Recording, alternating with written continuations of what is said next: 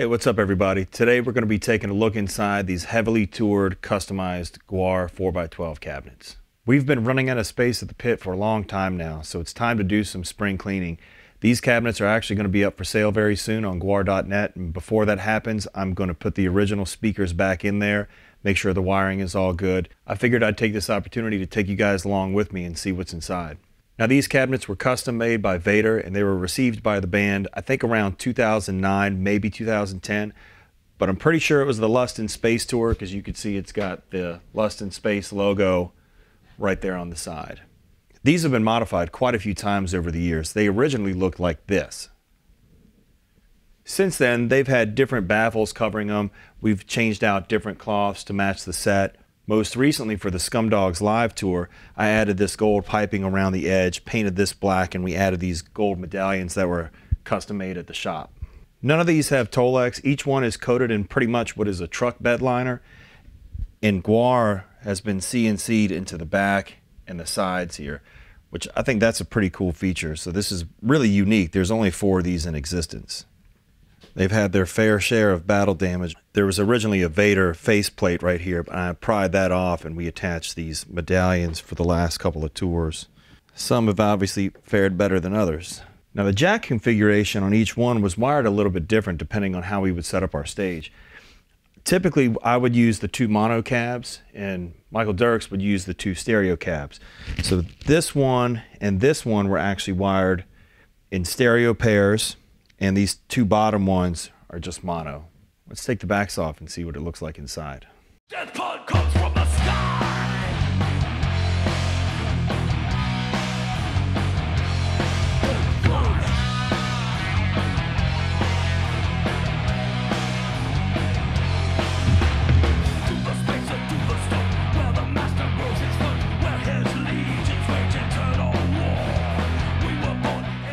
So each one of these cabinets has X patterned Vintage 30 and G12 T75 Celestion speakers. These are all going to come out and the original speakers are going to go back in.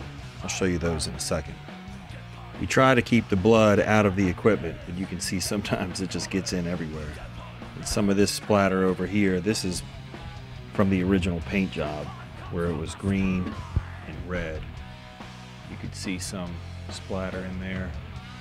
Now these cabinets did not originally have any baffle support whatsoever. You'll see on some older cabinets, there's sometimes a board between the front and the rear baffle. These dividers were actually added once we started using them in stereo because I was trying to make sure that they didn't influence each other while we were using them. I don't know if that really made a difference or not, but we were just trying something to see what worked. I'm gonna go ahead and pull these out and get the original speakers back in.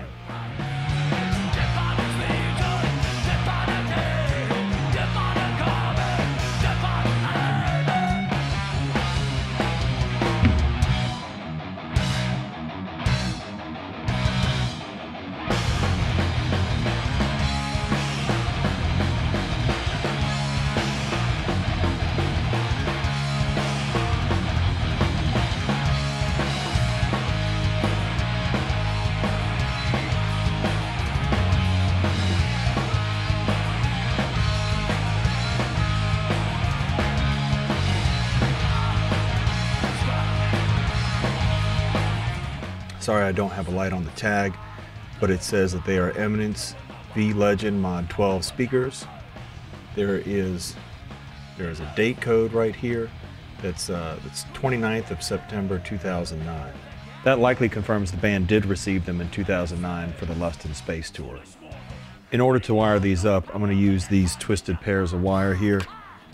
All I end up doing is just take the two wire ends, put them on the speakers like they're going to the jack. Make sure I got enough slack. Cut that.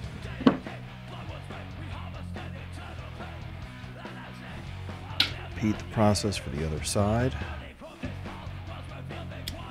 And just put the ends in a drill and twist them up.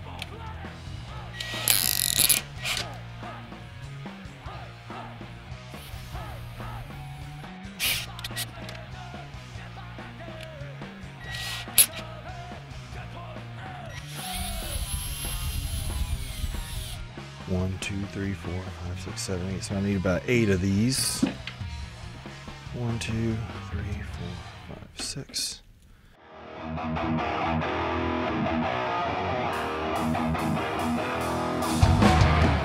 Since these two top cabinets were the stereo pair, I'm going to need to drill a hole in here to get the wire to go through. The type of wiring scheme we're going to use here is called series parallel. These are four 8 ohm speakers. We want the final output to be 8 ohms.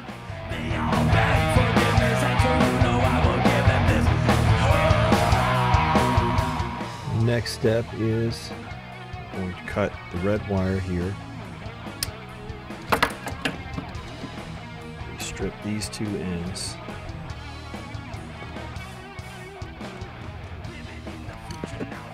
The red wire coming from the bottom speaker is going to go to the negative terminal. Top speaker. And the red wire that's going to go to the speaker jack will go to your positive terminal.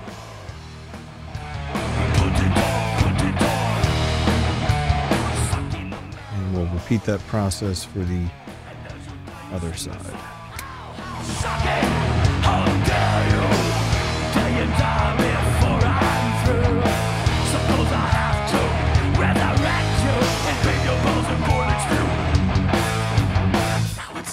Again, and the way we do this is the wire coming from the positive terminal on the bottom speaker is going to go to the negative terminal on the top speaker. That is going to wire these two speakers in series and they will be paralleled at the jack to yield a total of 8 ohms.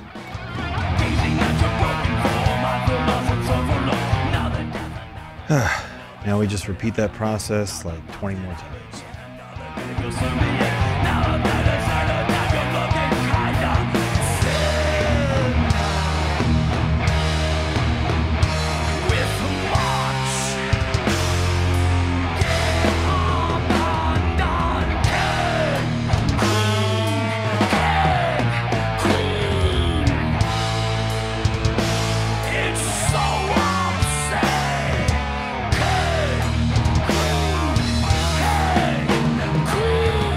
There's two more things we need to do to check behind our work. One is we need to check the polarity. Let's just go ahead and plug in any speaker cable. Look at your jack, make sure nothing's touching that shouldn't touch. And just take like a 9 volt battery, and it doesn't matter which direction they go in, as long as they all go in the same direction. It's so dark it's hard to see, and it's a weak battery so it's not moving very much. What you should see is if you touch the tip to the positive terminal on the battery, all the speakers should move outward. As long as they're all moving in the same direction, then all the speakers are in phase. Next, we want to make sure that the impedance is correct. So we will take a multimeter here, set it to ohms.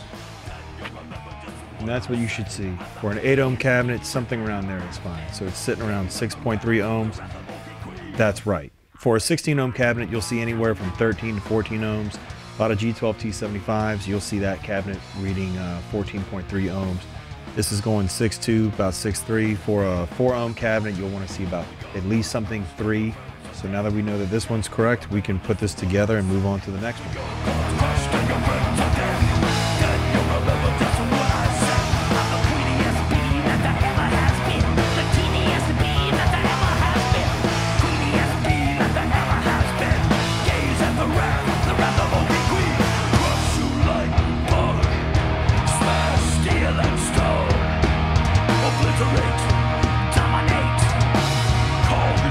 Now let's hear how they sound. Up on top, there's a 6505 Plus, mic'd with an SM57 at the bottom.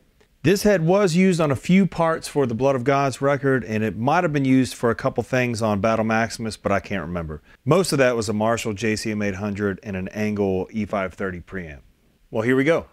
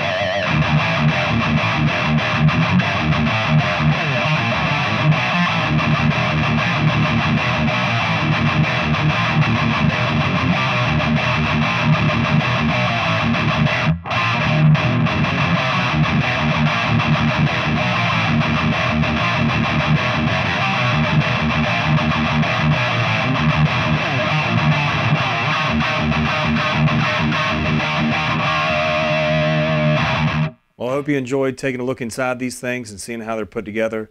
There's a lot of history with these in the band, but we really need to make some space. Stay tuned to gwar.net for more information about these cabs when they come up for sale. I've also got two 4x10 Vader bass cabinets that are decked out the same way that'll also go up at the same time. So you got the chance to take one of these home. Like and subscribe to the channel if you want to see more stuff like this, and I will catch you on the next one. Later.